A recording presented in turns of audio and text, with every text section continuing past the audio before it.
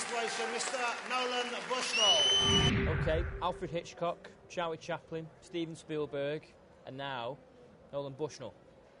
Uh, depreciating the whole lot. Absolutely not. the fellowship is the Academy's ultimate accolade. How does that feel?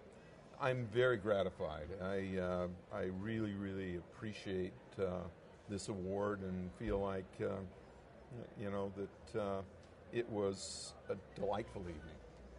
It's only the second uh, fellowship that's been given out for video games. You stand next to Will Wright. I, I couldn't agree more that Will Wright is a true master and a innovator par excellence. I've known Will for many years and respected his work, and I, I would feel really honored to be in his company. Now, you were on the, the very frontier of gaming way back in the day. Pong started it all. I think anyone who's worth the salt in when it comes to games knows Pong, has played Pong, has really played Pong. how did the how did the idea for that game come about? Because it's so obviously so simple, but at the same time very complex. When I first started thinking about video games, I basically went through and I wrote down every sport that could be there, and uh, and then one day I happened to go to a demonstration of the Magnavox Odyssey. And they had this game in which the ball was bouncing back and forth. And I didn't think much of the game, but I said, you know, if this were done right, it'd be fun. And so I gave that as a job, as a uh, project to Al Alcorn, thinking that it was just going to be thrown away. And because uh, we had a contract at that time to do a driving game.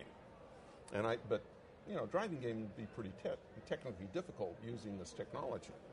And uh, we got playing it, and we made a couple of tweaks that turned what I consider to be a ho hum experience into a spectacular experience. And we were off to the races.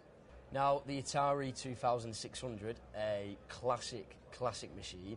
I, there was one in my youth club when I was about uh, eight years old, nine years old, and we used to literally queue to get a go of it because obviously only two people could play, and that contained Pong and, and the like. Um, how did the idea for that come about? And, and, were you amazed by the success, or did you kind of see it coming?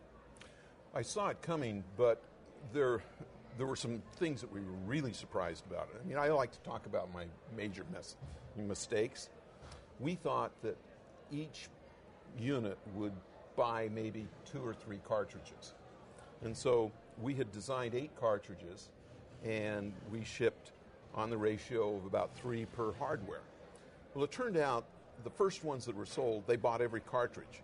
And so we ended up with about six months in which we had machines with no cartridges when we first launched. Now, how much involvement do you have these days regarding the gaming industry? I'm involved with games, but I always like niches that are different. And so I'm working on social games.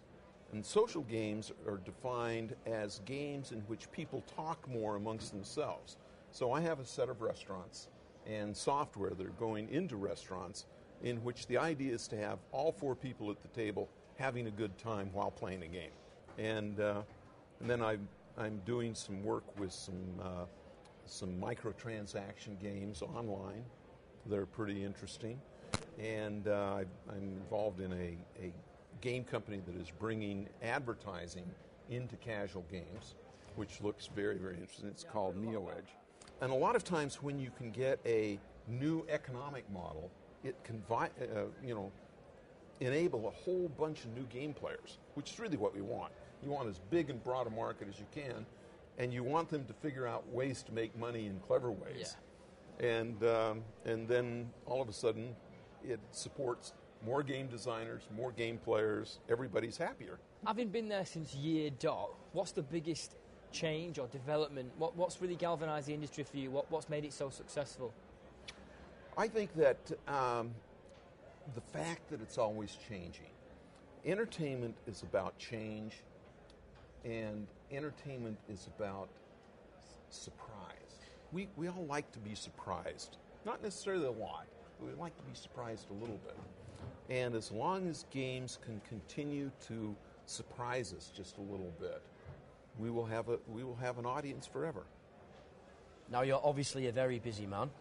Do you still get a chance to play games at all? I play games all the time. Glad to hear it. Go on, what are you playing? I'm playing Halo with my sons. Excellent work. I'm playing Rock Band Okay. and Guitar Hero.